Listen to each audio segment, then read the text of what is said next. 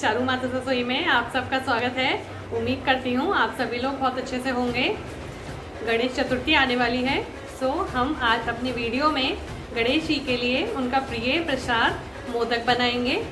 आइए देखते हैं हमें घर पे ही मोदक बनाने के लिए किन किन चीज़ों की ज़रूरत पड़ेगी। सो हमें घर पे ही मोदक बनाने के लिए सबसे पहले चावल के आटे की ज़रूरत होगी। यह हमने एक कप नाप से चावल का आटा लिया हुआ है, जिसका हम दो लगा के तैयार करेंगे।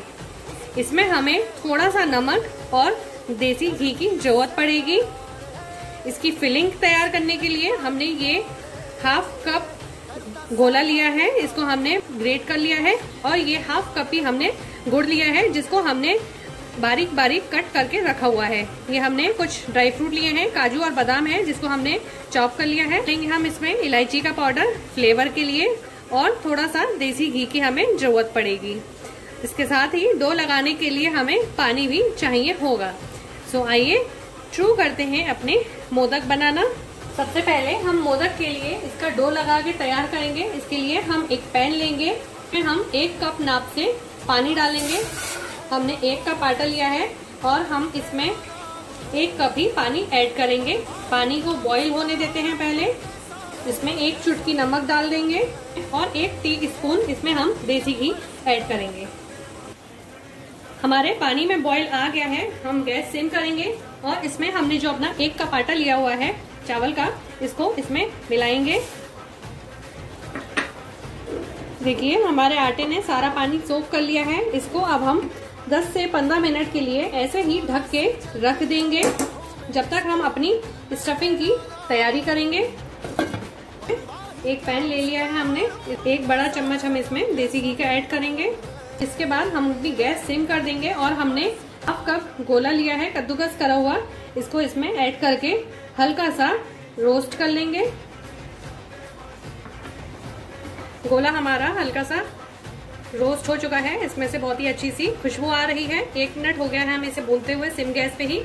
हमने जो गुड़ लिया हुआ है हाफ़ कप उसको ऐड करेंगे और इसके मेल्ट होने तक हम इसको पकाएँगे। देखिए, हमारा गुड़ मेल्ट हो गया है और गोले में अच्छे से बाइंड हो चुका है। अब हम इसमें हमने जो अपने ड्राई फ्रूट्स लिए हुए हैं, उनको ऐड करेंगे। ड्राई फ्रूट्स आप अपनी चॉइस के हिसाब से कुछ भी ऐड या इसमें से रिमूव कर सकते हैं। इसमें हल्का सा इलायची का पाउडर डालेंगे। स्टफिंग अच्छे से ड्राई हो चुकी है। साइड साइड से देख सकते हैं। घी जो हमने डाला था, इसने वो भी छोड़ दिया है। हम अपनी गैस बंद करेंगे और इसको एक प्लेट में निकाल लेंगे ठंडा करने के लिए। जब तक हमारी स्टफिंग ठंडी होती है, तब तक हम अपना आटा चेक करते हैं एक बारी। देखिए, सारा पानी से सोख कर लिया है। इसको परात में निकालते हैं। अभी हमारा आटा काफ़ी गर्म होगा। तो आइए, इसमें हमने ये हाफ़ कप पानी लिया है। इसको बहुत थोड़ा थोड़ा करके ही मिलाएँगे। एकदम सारा बिल्कुल भी नहीं मिलाना है।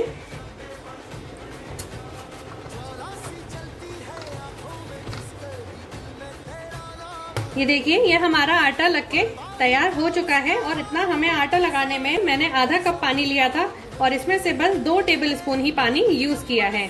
तो आइए, अपने मोदक बनाना शुरू करते हैं। आपके पास अगर मोदक बनाने का साचा हो तो आप उसके द्वारा भी बना सकते हैं। नहीं तो इनको हाथों से भी बहुत आसानी से बनाया जा सकता है। आइए, हम आपको दोनों तरीके से बनाना दिखाते हैं। हथेलियों पे हल्का सा घी मल लेंगे। फिर एक पेड़ी लेंगे।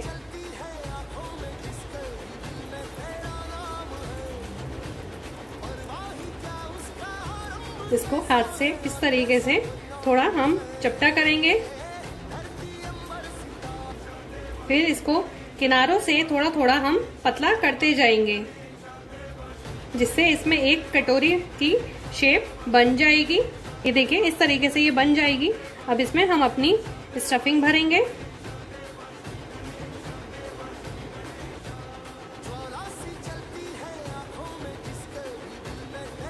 उठाते हुए ऐसे इस शेप में लेके आएँगे।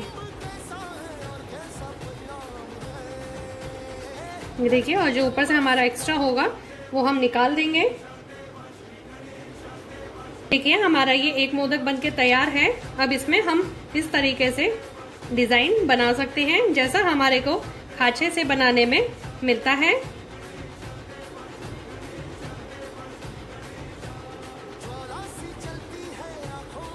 ये देखिए, ये हमारा एक मोदक बनके तैयार हो चुका है।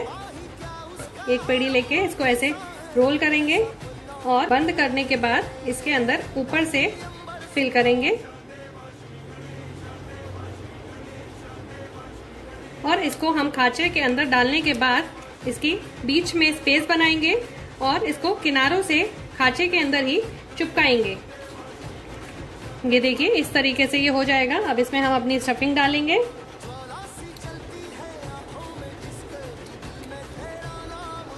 और ऊपर से वापस से हम एक छोटा टुकड़ा लेके इसको हम प्रेस करेंगे।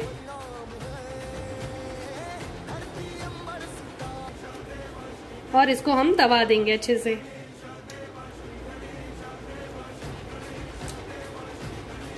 ये देखिए, ये हमारा खाचे वाला मोदक भी बनके तैयार है। इसी तरीके से हम अपने सारे आटे के मोदक बना के तैयार कर लेते हैं। ये देखिए, हमारे सारे मोदक बनके तैयार हो चुके हैं। ये देखिए, ये हमारे हाथ से बनाया हुआ बिना साचे का मोदक है और ये हमारे साचे से बनाए हुए मोदक हैं। दोनों में कुछ भी अंतर नहीं है, दोनों एकदम स्मूथ हैं। को अब हम स्टीम करने के लिए रखते हैं। इसको एक कढ़ाई के ऊपर प्लेट रख के स्टीम करेंगे। आपके पास स्टीमर हो, आप उसमें भी स्टीम कर सकते हैं। हम इसमें पानी ऐड करेंगे। जिस पे रख के हमें इसे स्टीम करना है, उसको हम पहले घी से ग्रीस कर लेंगे। अपने मोदक इस पे रखते हैं।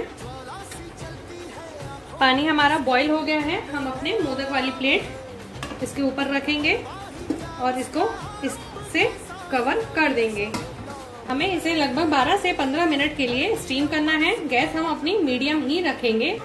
हमारे मोदक को स्टीम होते हुए 15 मिनट हो चुके हैं। आइए इसको हम चेक करते हैं।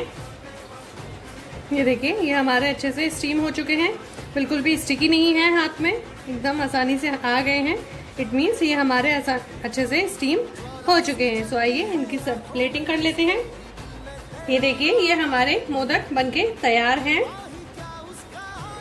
इनके ऊपर हल्का हल्का हमारे पास जो ड्राई फ्रूट है, उसको स्प्रिंकल कर देंगे। गार्निशिंग के लिए। ये देखिए, ये हमारे मोदक तैयार हैं। उम्मीद करती हूँ दोस्तों, आपको मेरे द्वारा बताई हुई मोदक की रेसिपी पसंद आएगी। आप इसको अपने घर पे बना के ट्राई कीजिएगा एंड भगवान को भोग लगाइएगा और अपने व्यूज़ हमारे साथ शेयर कीजिएगा। आप लोगों ने अगर अभी तक मेरा चैनल लाइक या सब्सक्राइब नहीं किया है तो आप लोग मेरे चैनल को सब्सक्राइब कीजिएगा, जिस और सब्सक्राइब करने के बाद बेल नोटिफिकेशन के आइकन को भी प्रेस कीजिएगा। मिलते हैं अगली एक और नई रेसिपी के साथ। तब तक के लिए take care good bye thank you